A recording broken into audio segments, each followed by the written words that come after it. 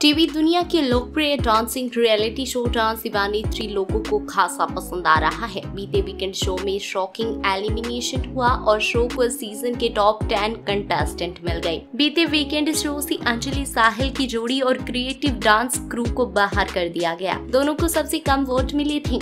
CDC group को show में wild card entry मिली थी। इस एपिसोड में जैकी श्रॉफ बतौर स्पेशल गेस्ट बनकर आई थे। बीते वीकेंड टेलीकास्ट हुई इस एपिसोड में साहिल अंजलि की जोड़ी ने अपनी कोरियोग्राफर पॉल के साथ मिलकर जैकी श्रॉफ के गाने पर धमाकेदार परफॉर्मेंस दी थी। इस परफॉर्मेंस में जज धर्मेश को कई खामियाँ नज़र आई और इसलिए धर्मेश ने दोनों की परफॉर्मेंस में सुधार की गुंजाइश की बात कही। जैकी श्रॉफ ने भी इस परफॉर्मेंस की तारीफ़ की, लेकिन फिर भी ये परफॉर्मेंस इस जोड़ी को टॉप टेन में जगह नहीं दिला पाई। इस डांस रियलिटी शो में कंटेस्टेंट के लिए जनता के साथ साथ जजों के वोट भी मायने रखते हैं। इन दो एलिमिनेशन के साथ ही शो के इस सीज़न को कुल टेन टॉप डांसर्स मिल गए हैं। अगर इस सीज़न की बात करें तो फ़िलहाल सीज़न में कुल टेन डांसर बचे हैं। इसमें गुंजन, सोमांस, अमन, पपई और अंतरा पीयूष, पल्लवी, सिद्धम, अरुंधति, सूचना, साहिल शामिल हैं। वहीं शो से जुड़ी एक खबर ये भी आ रही है कि शो के होस्ट राघव जवाल ने शो के बीच में ही छोड़ दिया है।